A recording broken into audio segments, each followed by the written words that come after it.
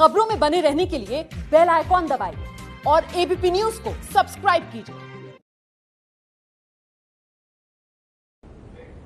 चलिए एक और बेहद अहम खबर आपको दे देते हैं। राहुल का बंगला खाली है। जी हाँ लोकसभा सचिवालय की तरफ़ से एक सर्कुलर जारी होने के बाद सवाल उठने लगा है कि क्या राहुल गांधी का दिल्ली वाला आवास बदलने वाला है?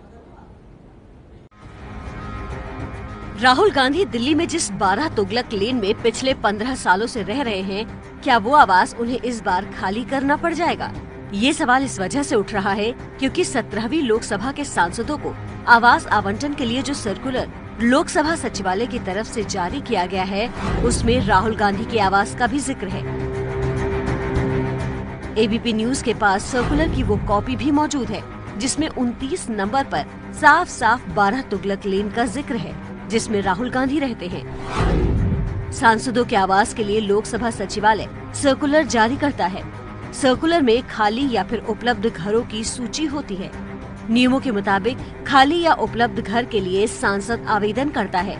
इस बार के सर्कुलर में 517 फ्लैट और बंगलों का ब्यौरा है, जिसमें राहुल गांधी का 12 तुगलक लेन भी शामिल है। जो लिस्ट उन्होंने निकाली है, ये उनका काम ही नहीं है।